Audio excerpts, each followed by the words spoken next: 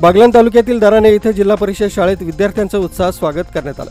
सकाळी दहा वाजता नवीन दाखल झालेल्या विद्यार्थ्यांना बैलगाडीतून वाजत गाजत मिरवणूक काढत शाळेच्या प्रवेशद्वाराजवळ पुष्पगुच्छ देऊन स्वागत करण्यात आलं.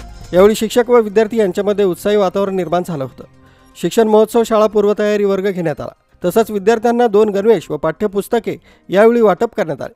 तसंच माता पालक मेळावा देखील घेण्यात आला. या कार्यक्रमाप्रसंगी दाराण्याच्या सरपंच संगीताताई ठोके उपसरपंच शंकर ठोके ग्रामसेवक पंकज पवार ग्रामपंचायत सदस्य दादाभाऊ ठोके आशाबाई ठाकरे रवींद्र माळवे रत्ना शिंदे तसंच जिल्हा परिषद शाळेचे मुख्याध्यापक वामन खैरनार सुनील पवार सुलभा मॅडम सीमा रौंदळ आदी शिक्षक तसंच ग्रामपंचायत कर्मचारी समाधान ठोके पंडित महाले व ग्रामस्थ महिला मोठ्या संख्येनं उपस्थित होते. न्यूज जी नाईन महाराष्ट्रासाठी प्रतिनिधी भगवान पवार सटाणा.